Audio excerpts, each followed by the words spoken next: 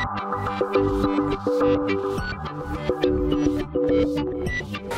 and welcome to my playhouse. And today we are not in the data center, but we are almost as noisy. Um, I've hurt my back, so I'm walking around like an old man who has shit his pants. So I'm gonna make a very short video for you guys because, well, I, um, I post videos and I don't skip them even if I'm not feeling too good. So, it, but it's gonna be very short. I have a very interesting server here it's a Hewlett Packard Enterprise server and it's the DL560 generation 10. This is a very powerful server. It, um, it, it carries no less than four CPUs and each of these CPUs has 18 cores and they are 3 gigahertz. So it's up there among the very very fast servers. So uh, we're just gonna I'm just to show you the numbers and then we're to run a benchmark and then you're to be impressed and then, um, well, that's to be it. So uh, yeah, let's see the server. Here is the server. It's nothing special to look at from the front. There's room for 24 drives here.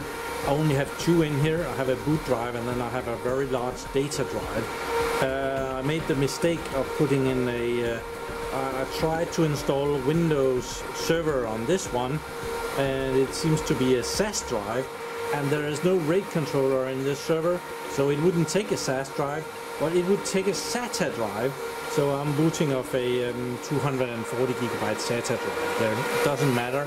So it's very noisy because it's set uh, to maximum performance. And as I try to get up with my bad back and go around the back um, there's nothing special here. It has a couple of network cards and I'm actually hooked into one of the 10 gigabit uh, connections here with a 1 gigabit uh, thingy. But it doesn't matter because I only have 1 gigabit in this cable anyway. So yeah that's the back of it. So let's see the numbers.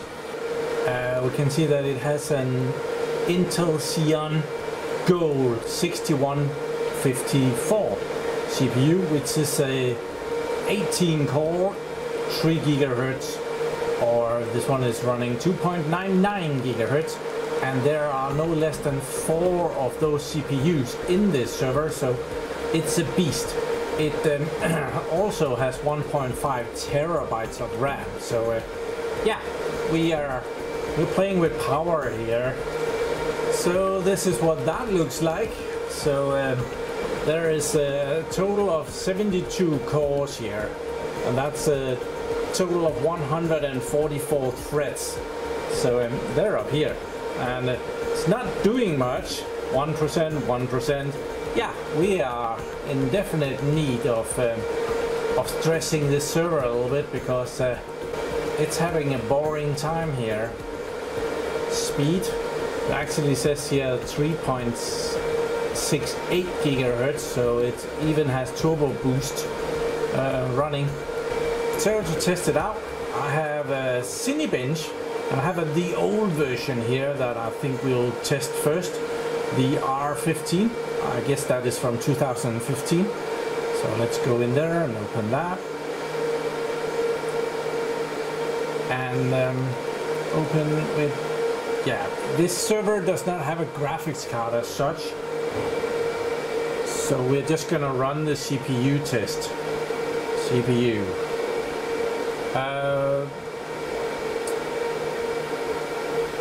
And that is fairly quick. It uh, scores really good over here and it didn't take long. Uh, yeah, it scores 4,933. It uh, beats everything. And this is a two processors of the X5650s and yeah and this is an old program so the CPUs that it's comparing with are kind of old. It also does not recognize the Windows Server 2022 that I have on here. This one is 10 years older but well it's still working. So let's run the the newer version.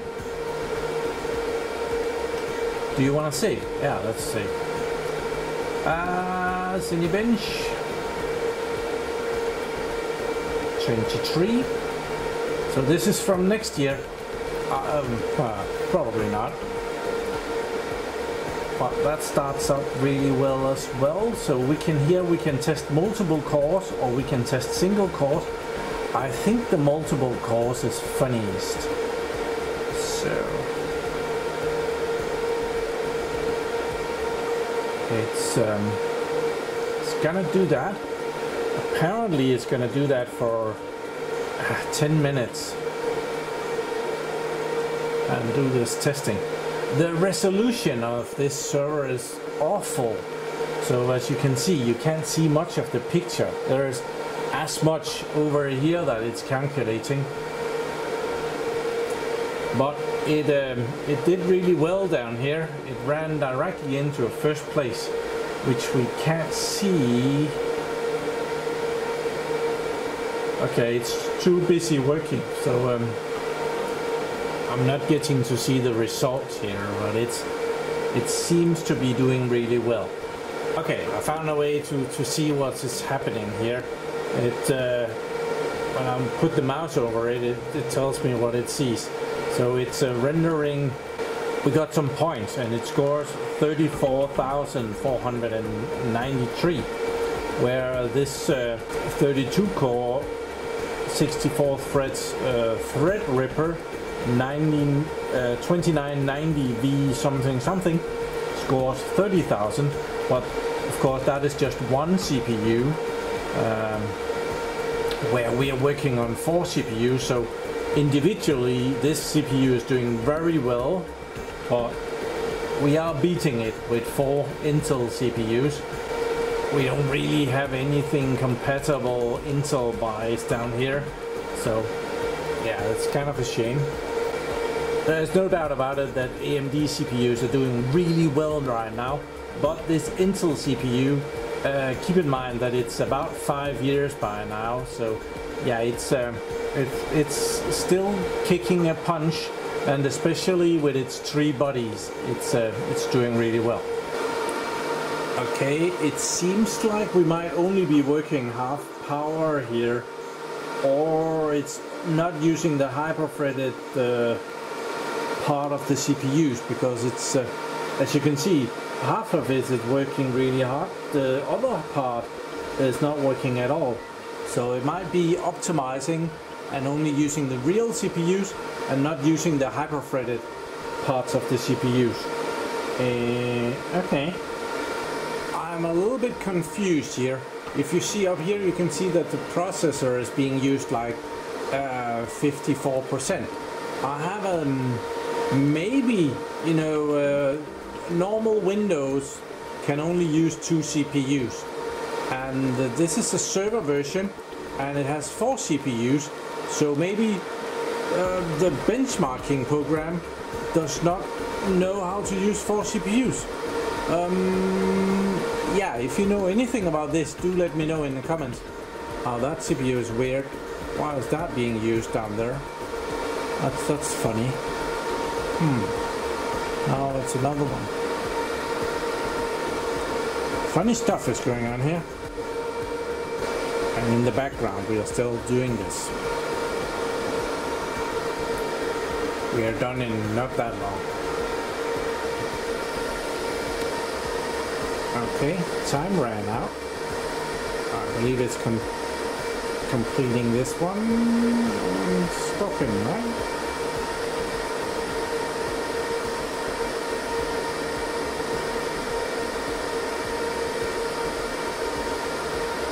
Yeah.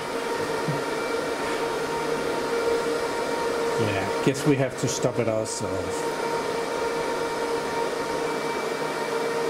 I guess that's not a bad score uh, compared to all the other numbers. So let's try the, the single CPU performance up here. See what that can do.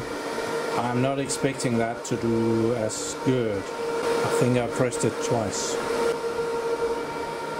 I see that my studio lights is uh, not great for this.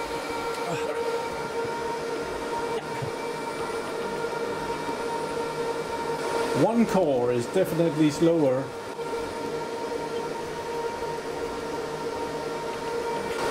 we will uh, we'll get back to this. This might take a while. Okay, so it seems that it has completed. And if we look around there, it says 4,904 points for single core rendering. And um, yeah, I was talking about only using half the power and we can kind of see that here because it says that it has 36 cores and in reality it um, it has 72 uh, it sees all the threads but it doesn't count all the cores so that is kind of weird. So it looks like it might only be using two of the CPUs so as I have also downloaded Cinebench release 20 I'm just gonna run that as well. Oh that already completed. So uh, yeah but that says the same thing. 36 cores. So um, yeah it seems to be using just about the same amount as the other one. So it seems that I was able to uh, dig up a little bit of a mystery anyway. Why does the server or the program here not see all four CPUs in here when there are four CPUs in here? Um, that's really weird. Maybe we should open up and see this is a very nicely spec'd server. The server can hold no less than 6 terabytes of RAM. That's the blocks of RAM that no one can afford. But still, this is 1.5 terabytes of RAM and it's only half full. So let's just have a sneak peek inside. I'll shut it down. It was getting noisy anyway. So let's have the cover off. This is a heavy server uh, carrying it. You can see here it weighs to something like 18 to 36 kilograms. I have disconnected the power because, uh, yeah, messing with this stuff with the power on is really stupid. But it has this tray on the top. You can see there is uh, blocks of memory and there is two CPUs. But that is only half of it. Over here there is a blue lever, lever that you can you can pull and you can take this up and beneath it is another two CPUs and the same amount of RAM. So there's 24 blocks of memory on each on each floor here. So uh, a very well spec'd server. Um,